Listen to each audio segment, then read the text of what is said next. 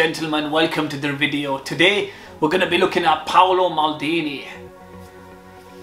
Everybody knows Maldini as one of the greatest centre backs that ever played the game. Of course, he's going to cost you a pretty penny. Cost me 1.1 million, and what a defender he was. I mean, centre back. He, this man is he defines that centre back position. He's got incredible pace, incredible composure, incredible passing. His agility and balance is really good for a centre back. He's got fantastic physicals. He's got brilliant, I mean, what almost, look maxed out defending skills. When it comes to his ability to defend, to defend, is next to none.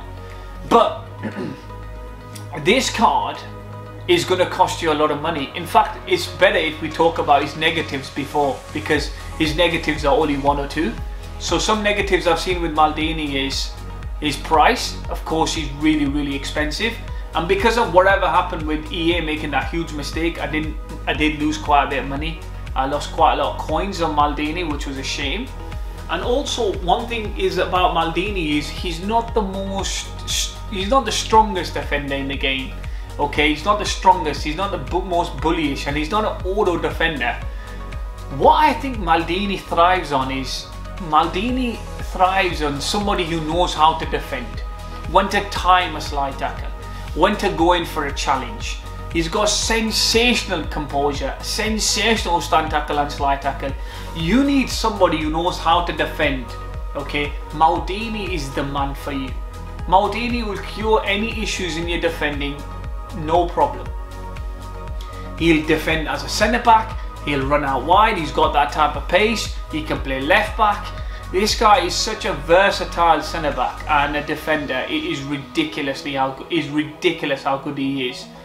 He's always been one of my favourite centre backs. The I paired him up with Lucio. Now Lucio is a really good pairing of Maldini and Lucio, and the reason why I'm saying that is because they actually complement each other really well.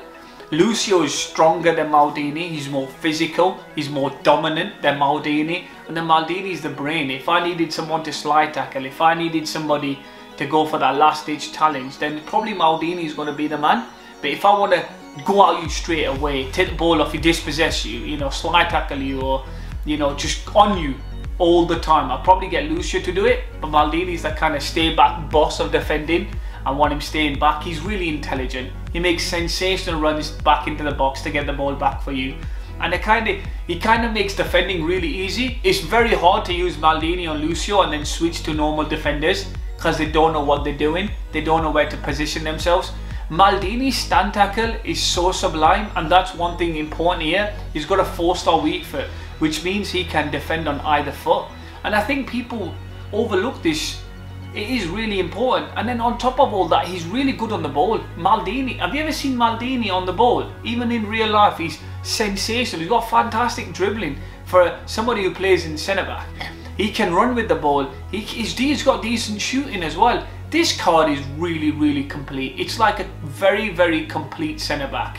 And I love Maldini to bits. What he offers for a team is, is assurance a guarantee that he'll look after you at the back. He kind of organises the defensive line.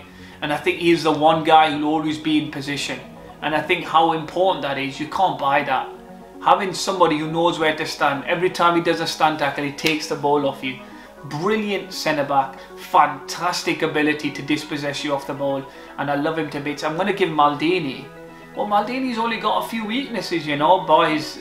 You know, he's not the strongest defender, okay, but I do think he uses his strength really well. Maldini, I'm going to give him a 9.9 out of 10. I do think he's the best centre back in the game. I really do think, for me anyway. I mean, I know the pros are loving Lucio, but I kind of like manually defending, and I have my utmost respect for Maldini. Not only that, but Maldini's got the height as well. I think he's six foot two.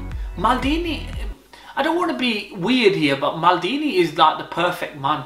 I mean, he's good looking, He's strong, he's amazing, he's fearless, he's got amazing composure. It's just. It doesn't get better than Maldini. It really does. I mean, you talk about the centre back position. You talk about being a man, and I think Maldini is just the man. He is the man of the centre back position. He really is.